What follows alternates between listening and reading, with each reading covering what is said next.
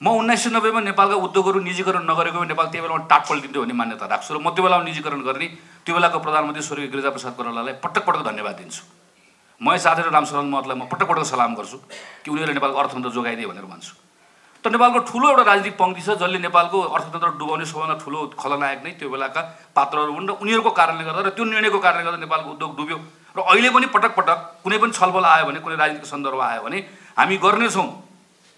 ती हिजो बन्द भएको उद्योगहरूलाई फेरि सरकारले सञ्चालन गर्छ। सरकारले चुरोट बनाउने छ सरकारले लत्ता कपडा बनाउने छ सरकारले इट्टा बनाउने छ सिमेन्ट बनाउने छ भनेर भन्ने राजनीतिक दृष्टिकोण राख्ने पनि हामीहरू छौँ।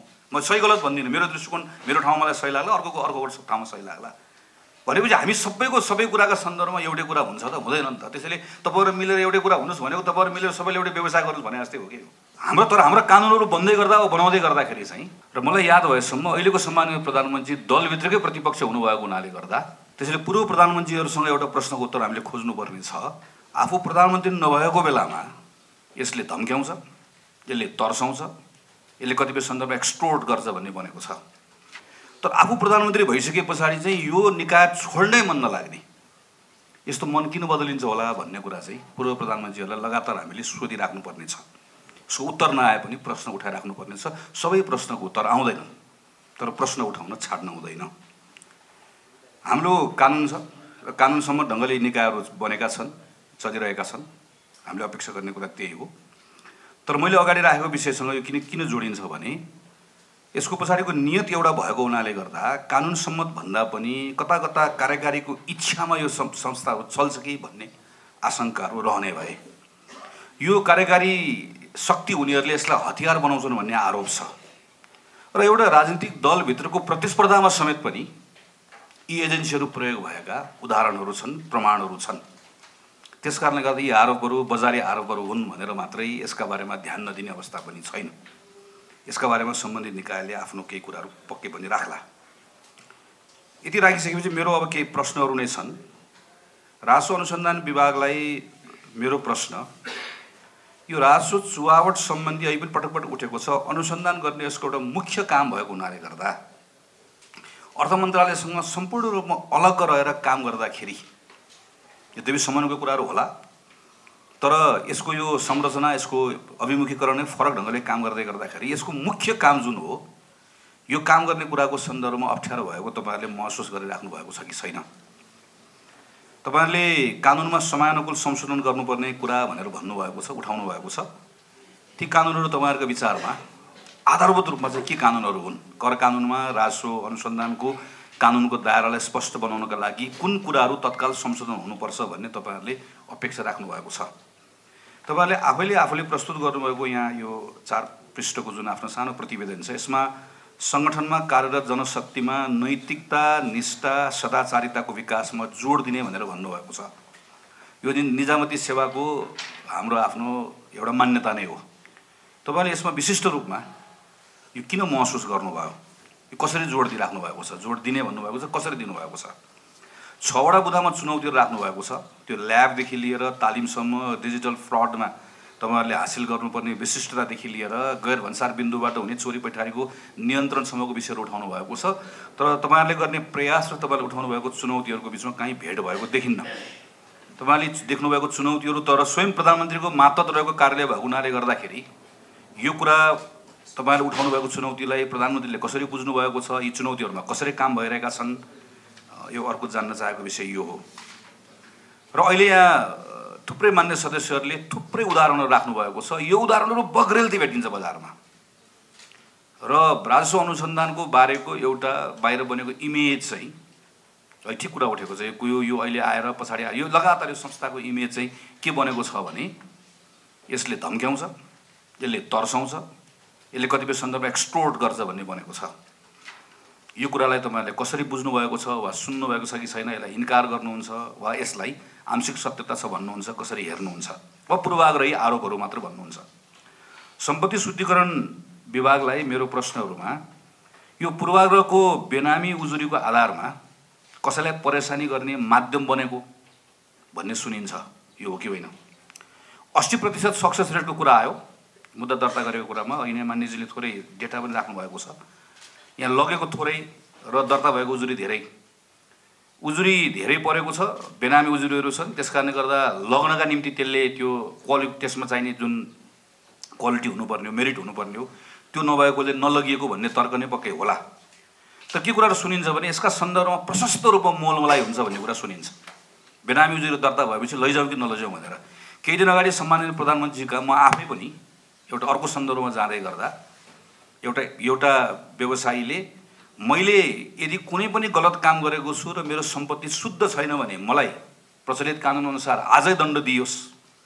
तर सम्पत्ति शुद्धिकरणमा मेरो मुद्दा अल्झाइदिएको कारणले गर्दाखेरि म अब चाहिँ मानसिक रूपले पनि विक्षिप्त भएको छु र यसको छिनोफान हुनेवाला पनि छैन र मैले अब थप व्यवसाय गर्नेवाला पनि छैन मैले। सारा सबै कुरा मेरो हातखुट्टा बाँधिएको छ भनेर भनेको यो एउटा सन्दर्भमा यहाँ सम्झन चाहन्छु।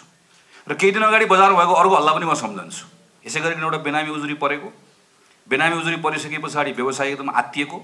व्यवसाय आत्तिसकेपछि एकजना बिचौलियाले म कुरा गरिदिन्छु भनेर भनेको र त्यसपछि अहिले व्यवसाय ढुक्क भएको। यो हल्ला हो वा होइन मलाई थाहा छैन तर मैले सुनेको कुरा मैले खालि यहाँ राख्न मात्र चाहेँ। यो टास्क फोर्सले दिएको सुझाव बमोजिम घर जग्गाको आयात निर्यातको सहकारीको कारोबार आदिबाट हुने जुन मनी लन्ड्रिङ छ खास काम गर्नुपर्ने यो। यसो विभागले के काम गरिरहेको छ? तपाईँहरूले पनि केही समस्याहरू देखाउनु भएको छ कर्मचारी परिवर्तन समन्वय नभएको कुराहरू? खास गरिकन यो टास्क फोर्सले गरेको जुन सिफारिसको पालना गर्ने कुरा नै हो भनेर भन्नुभएको छ आफ्नो रिपोर्टमा। त्यो कसरी भइरहेको छ? ती सिफारिसहरू के हुन्? त्यसको पालना कसरी भइरहेको छ? यो जे कामको लागि बनाइएको त्यो काम यसले गरिरहेको छ नि यो बरालिएको छ। भन्ने यसका बारेमा गम्भीर आरोप छ। यसलाई तपाईँहरूले कसरी लिनुभएको छ? मैले यी कुराहरू राखेँ र मेरो अन्त्यमा चाहिँ मलाई खालि एउटा स्वभावजी एउटा हामीले ध्यान दिनुपर्ने कुरा हामीले अहिलेसम्म सबै अर्थतन्त्रमा समस्याको बावजुद हाम्रो एउटा सजिलो के थियो भने प्रत्येक वर्ष रासो हाम्रो लक्ष्यअनुसार उठ्दै जान्थ्यो बढ्दै गइरहेको थियो चलिरहेको थियो। त्यसैले हाम्रो धन्दा चलिरहेको थियो हामी जे जस्तो भयो भने चल्दै थियौँ। एकैपटक यो अहिले हाम्रो लक्ष्यअनुसारको रासो उठ्न नसकिसकेपछि सबै आत्तिएको अवस्था बनेको छ। आत्तिएको अवस्थामा यो निजी क्षेत्रले उठाएको एउटा कुरामा हाम्रो ध्यान जानै पर्छ। आत्तिएको अवस्थामा फेरि हाम्रो एजेन्सीहरूबाट जसले कर तिरिरहेको छ त्यहाँ थप दबाब हुने त्यहाँ थप निचोरिने। किनभने रासोको लक्ष्य भेट्न सकिन्न। दबाब छ बजेटको आकार पनि बढाउनु पऱ्यो त्यसो गर्दा के गर्ने भन्दै गर्दा त्यसले झन् थप एउटा भिसिएस एउटा के बन्ने भने झन् भइरहेको अर्थतन्त्रको पनि थप थप शिथिलता आउने कुरा हुनसक्छ कि भन्ने सन्दर्भमा हाम्रो समितिको तर्फबाट हामीले बारम्बार यी स्थलबाट राख्नुपर्ने ध्यान दिनुपर्ने कुरा छँदैछ। र मलाई अर्को कुरा चाहिँ एउटा तपाईँलाई अन्तिममा के अर्को विषय पनि राख्न चाहन्छु भने यो अघि नै थोरै कानुनको कुरा आयो। यो हामी यो कानुनको शासनको विधिको शासनको पक्षमा हामी सबैजना छौँ नै। त्यसैले कानुन त्यो त्यो भनेको हामी सबै कानुनको अगाडि बराबर छौँ कोही ठुलो छैन कोही सानो छैन कोही प्रोटेक्टेड छैन। जतिसुकै शक्तिशाली भए पनि कानुन सबैको लागि बराबर हुन्छ भन्ने नै हो। तर हाम्रो सन्दर्भमा चाहिँ सायद निजी क्षेत्रले सङ्केतमा बजाउन खोजेका कुराहरू पनि त्यो होला जस्तो त्यसको मर्म हामीले बुझ्नुपर्छ भन्ने लाग्छ। कानुनै बदनियत राखेर बनाइयो भने। र कानुन त सङ्ख्याको आधारमा बन्छ। सङ्ख्या भनेको आखिर फेरि सङ्ख्याले पनि दृष्टिकोण बोक्छ। मैले बोक्ने दृष्टिकोण बोक्नेको मान्छेहरू धेरै भयो भनेदेखि भने धेरै मान्छेको दृष्टिकोण एउटै हुन्छ। त्यो भनेको बहुमत हुन्छ बहुमतले कानुन बनाउँछ। पार्लियामेन्ट पनि बहुमतले कानुन बनाउने हो त्यसरी बहुमतले कानुन बनाउँदै गर्दाखेरि कहिलेकाहीँ ठिक कानुन बनेन भने त्यो एक त कानुनै गलत बन्न सक्छ अर्को कानुनको लाई माध्यम बनाएर शासकले आफ्नो चाहना बमोजिम शासन गर्न सक्छ। त्यसलाई हामी रुल बाई ल भनेर भन्छौँ। त्यसरी हाम्रो सन्दर्भमा चाहिँ कुरा रुल अफ लको होइन। हामी कता कता बरालेर कतिपय सन्दर्भमा चाहिँ विधिको शासनभन्दा पनि विधिले शासन रुल बाई ल जुन कुरा हेर्दै गर्दा लिगलिटीको एङ्गलबाट हेऱ्यो भने मिल्छ। किन कानुन बनेको छ कानुनअनुसार गरिएको छ। तर त्यो कानुन त्यसरी यहाँ अहिले भर्खर हामीले सिएनआईको पनि पायौँ एफएनसिआईको अध्यक्षको कुराहरू पनि सुन्यौँ। उहाँले लगातार उठाएर कुराहरूको सन्दर्भमा चाहिँ यहाँ हामी के कुरामा प्रष्ट हुनुपर्छ लाग्छ भनेदेखि भने जहाँ बदनियत राखिएको छ जहाँ गलत छ जहाँ गलत काम भएको छ त्यो जति राजनीतिक हिसाबले शक्तिशाली होस् त्यो जति ठुलो व्यापारी होस् व्यवसायी होस् उद्योगपति होस् घरानिया होस् चाहे त्यो राजनीतिक घरानिया होस् चाहे त्यो व्यवसाय घरानिया होस् कानुनले सबैसँग समान व्यवहार गर्छ गर्नै पर्छ। त्यहाँ कुनै स्पेसल प्रोटेक्सन कसैले पाउँदैन। पोलिटिकल मान्छेले पनि पाउँदैन अरू कम्युनिटीको मान्छेले पनि पाउँदैन। हाम्रो तर हाम्रो कानुनहरू बन्दै गर्दा बनाउँदै गर्दाखेरि चाहिँ सँगै के रहनु हुँदैन भनेदेखि भने चाहिँ हामीहरू कहीँ कतिपय ठाउँहरूमा चाहिँ कुराहरू उठेको छ। यो जस्तो समन्वय गर्नुपर्ने स्वभाव लगायत यहाँ उहाँले नै भन्नुभएको छ। हेर्नुहोस् त राष्ट्र ब्याङ्कको एउटा वित्तीय इकाइ छ। हाम्रो सिआइबी छ। सबै कुरा समन्वय गर्ने ठाउँमा पछिल्लो समयमा चाहिँ स्टेटकै मसिनरीले कहिलेकाहीँ बरालिने काहीँ चाहिँ एकदम हिरोइजम देखाउनु पर्ने। जसको कारणले गर्दाखेरि चाहिँ जे कुरा हुनुपर्ने त्यो कुरा नहुने। जाने जसले दण्ड पाउनु पर्ने त्यसले दण्ड नपाउने त्यो दण्डबाट उन्मुक्ति पाउने। तर त्यसले आम रूपमा चाहिँ त्यो कम्युनिटीलाई चाहे जुनसुकै कम्युनिटी होस् त्यसलाई चाहिँ ठुलो असर गर्ने।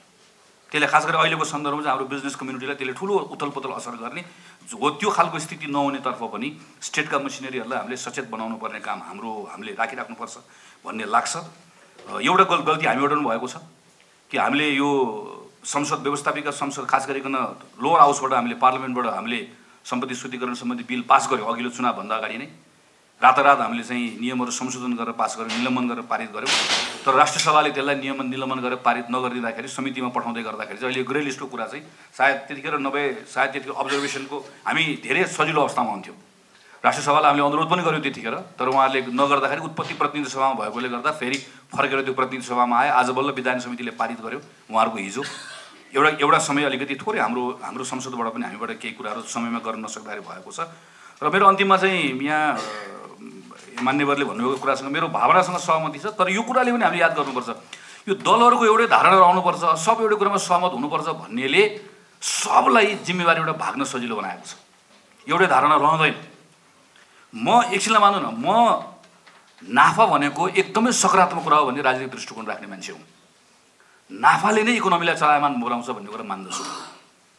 त्यस कारण नाफा भन्ने तत्त्व भएन भने इकोनोमी बन्दैन भन्ने कुरा मान्दछु म।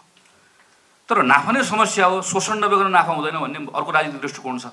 त्यो राजनीतिक राजनीतिक दृष्टिकोणलाई बोकेर जनमत बन्छ त्यो जनमतबाट जनप्रतिनिधि हुन्छ। अनि हाम्रो बिचमा एउटै धारणा बन्छ। म उन्नाइस सय नब्बेमा नेपालका उद्योगहरू निजीकरण नगरेको नेपाल त्यो बेलामा टाट पल्टिन्थ्यो भन्ने मान्यता राख्छु र म त्यो बेलामा निजीकरण गर्ने त्यो बेलाको प्रधानमन्त्री स्वर्गीय गिरिजाप्रसाद कोइरालालाई पटक पटक धन्यवाद दिन्छु। म साथीहरू रामशरण महतलाई म पटक पटक सलाम गर्छु कि उनीहरूले नेपालको अर्थतन्त्र जोगाइदिए भनेर भन्छु।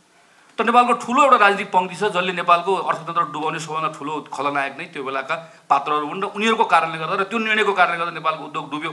र अहिले पनि पटक पटक कुनै पनि छलफल आयो भने कुनै राजनीतिक सन्दर्भ आयो भने हामी गर्नेछौँ। ती हिजो बन्द भएको उद्योगहरूलाई फेरि सरकारले सञ्चालन गर्छ सरकारले चुरोट बनाउने छ सरकारले लत्ता कपडा बनाउने छ सरकारले इट्टा बनाउने छ सिमेन्ट बनाउने छ भनेर भन्ने राजनीतिक दृष्टिकोण राख्ने पनि हामीहरू छौँ। म सही गलत भन्दिनँ मेरो दृष्टिकोण मेरो ठाउँमा मलाई सही लाग्ला अर्को अर्को ठाउँमा सही लाग्ला। भनेपछि हामी सबैको सबै कुराका सन्दर्भमा एउटै कुरा हुन्छ त हुँदैन नि त। त्यसैले तपाईँहरू मिलेर एउटै कुरा हुनुहोस् भनेको तपाईँहरू मिलेर सबैले एउटै व्यवसाय गर्नुहोस् भने जस्तै हो कि? त्यस भावना स्पिरिटलाई म सम्मान गर्छु। यो बेलामा पार्लिमेन्टमा चाँचर कानुन पास होस् भन्ने कुरामा। तर पार्लिमेन्टमा बन्ने कानुनमा नै हाम्रो फरक दृष्टिकोण हुन्छ। पार्लिमेन्टमा बन्ने कानुनको सन्दर्भमा म कतिजनाले मोर यो चाहिँ बिजनेस फ्रेन्डली हुनुपर्छ भन्ने लाग्ला। कतिलाई बिजनेस फ्रेन्डली भन्ने कुरो अर्को ढङ्गले लाग्ला। यी कुराहरूमा पनि हामीले अलिकति खुलेर समयमा उपयुक्त समयमा बहस गर्नुपर्छ। खालि आज उपयुक्त समय होइन मैले खालि यो सन्दर्भ उठेकोले उठाएँ मान्य सभापति समयको लागि धेरै धेरै धन्यवाद।